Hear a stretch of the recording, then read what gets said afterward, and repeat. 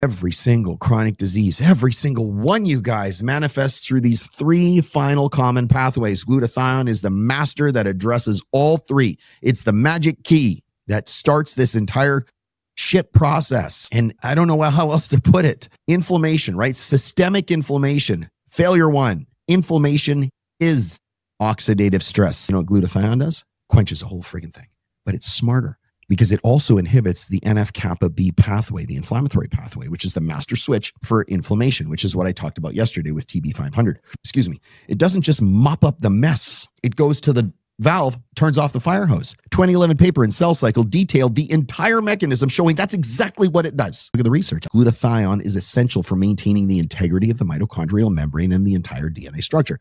2018, mitochondrion called glutathione the cornerstone of mitochondrial antioxidant defense. You can't have cellular energy without cellular cleanliness, period.